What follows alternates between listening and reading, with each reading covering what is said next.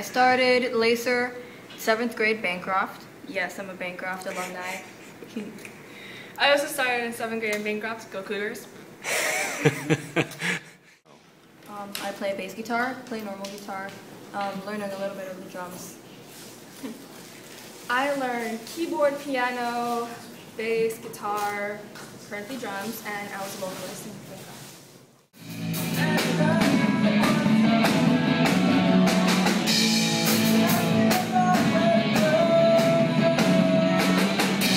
I've been going for about ever since eighth grade in middle school. Do you know what LACER stands for? LACER, oh, that's a difficult one for me. Um, I think it's literature, arts, creation, I believe. So, what do you guys like about the after school program? Everything. It's pretty fun. Educational.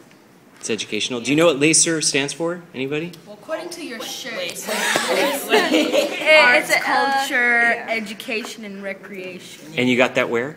From, From your your shirt, like right there.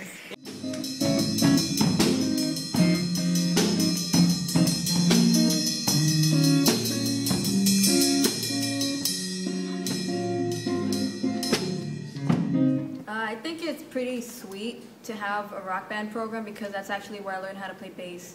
I didn't know how to play bass until I learned it in rock band. Yes.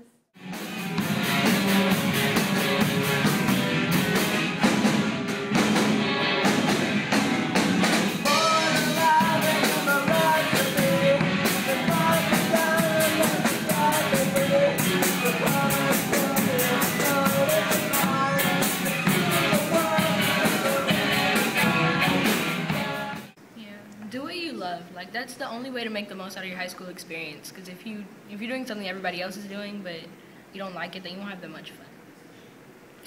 Uh, be yourself, do your homework, and just don't worry about nobody else. Now you go do that.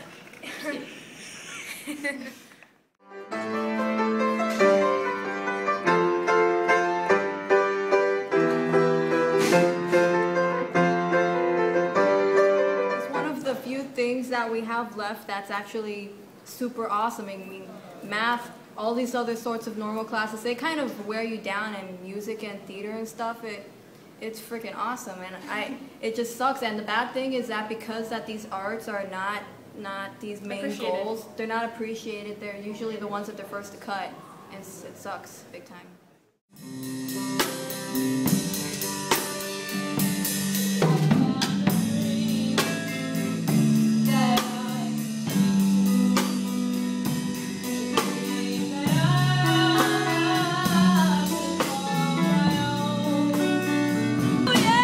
yeah.